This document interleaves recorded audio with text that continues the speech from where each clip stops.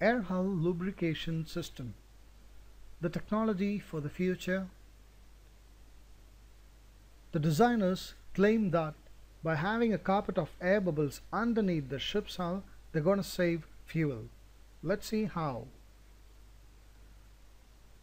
So the air hull lubrication system, this concept has been developed by three different companies. One is the DK Group and they have named it as air cavity system and the second one is the Mitsubishi Heavy Industries MHI and they have named it as microbubbles and the third one is the Sweden based company Stena Bulk. They have named it as AirMax air cushion system. In this video we're going to see about the air cavity system developed by the DK group and they claim that by the air cavity system they're going to reduce the fuel consumption and the CO2 emission by 10 to 15 percent. So before that let's understand what is air hull lubrication. What are going to lubricate or what exactly is happening there? We all know that there's going to be huge frictional resistance as the ship sails through water.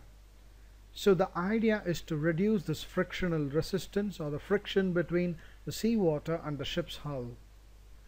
A blanket of air bubbles or the carpet of air bubbles is introduced between the ship's hull and the water so that they are getting separated and thus the frictional resistance reduces which means you're going to save in the amount of fuel which you're going to spend for the voyage.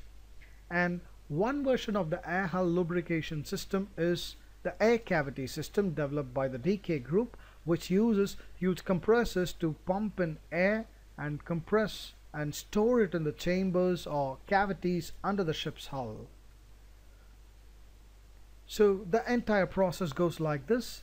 The air from the atmosphere is sucked by the compressor and the air gets compressed and it's stored in the chambers and as the seawater flows through the chambers or cavity they pick up air and form air bubbles and the seawater distributes the air bubble throughout the hull right from forward to aft which means the ship is literally going to float on air bubbles so reducing the contact friction between the seawater and the ship's hull thus saving in fuel so this picture from the DK group claims that the system is capable to be fit in any kind of ship which has completely flat bottom.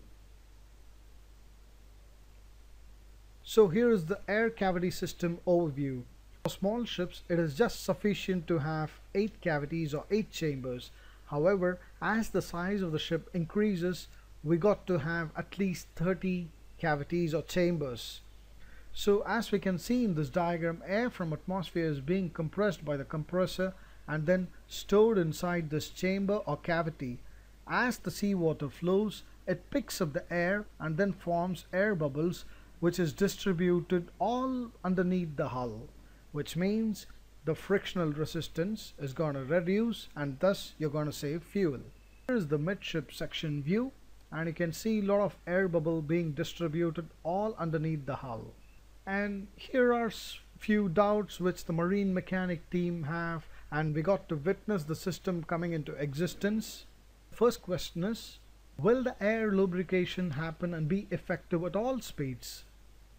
And the second question is won't it interfere with the propeller cavitation or as the air bubbles go underneath the hull and strike the propeller won't it create a cavitation on the propeller blades?